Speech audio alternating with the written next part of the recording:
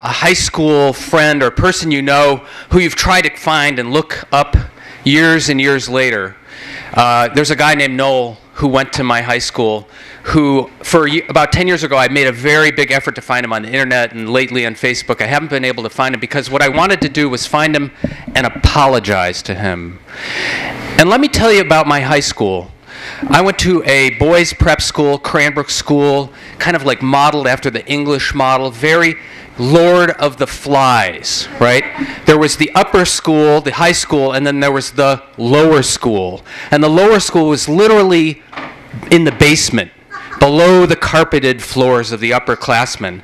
And the whole process of this private school was to groom us, to prepare us for power, for uh, to, to lead. And uh, the thing I wanted aside, but it's relevant, is there was another one of my classmates was a guy named Mitt Romney. Mitt Romney went to Cranbrook School. And in 1965, there's a very credible story that he participated in a bullying incident where there was a young man who had dyed his hair bleach blonde, and Mitt led a group of people to pin him down and cut his hair. And when Romney was confronted by this, he said he didn't remember. Well, I want to tell you something. I have went to the school, and there was systematic bullying like that.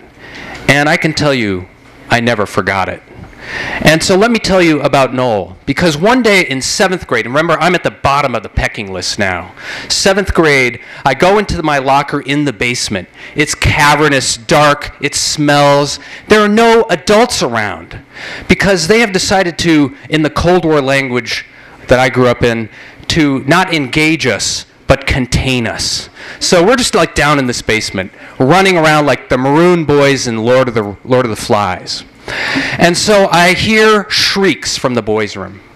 And I see these big eighth grader boys come barreling out and they're laughing.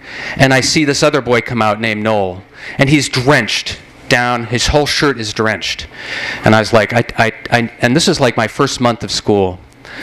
A week later, I see Noel coming down the hallway toward me, but I see these eighth grade boys also coming down in the locker room. And Noel, you can see he's trapped. He turns around, he tries to escape, but these big boys are serious. They drop their backpacks. Two of them go to different ends of the hallway to stand guard, and they tackle him.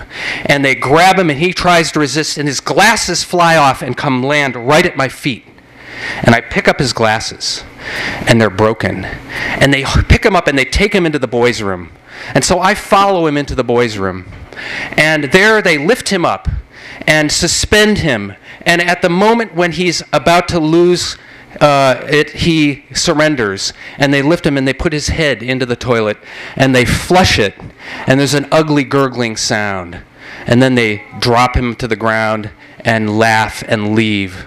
See faggot. And I'm standing now in the bathroom alone with Noel. And he's kind of kneeling, and I s- didn't say anything while this was going on. I just stood there. I had his glasses in my hand, and I noticed the lens was cracked. And so I handed him some paper towels so he could dry himself off. And I said, Here are your glasses, Noel. And he looked at them and he saw they were broken and he just started to sob. He said, That's going to cost. That's going to cost. And at that moment, and years later, I wished I was a superhero. I wished I was like Spider Man or one of those guys who like could have broken that and stopped that from happening, but I wasn't. I didn't say a word. I didn't say, leave him alone, you bullies.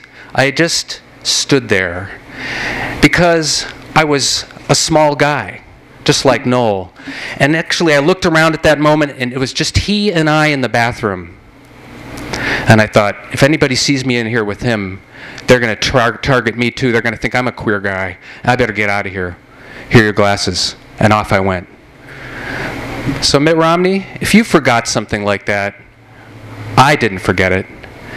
You can't be schooled for power in a school like that and forget that kind of schooling.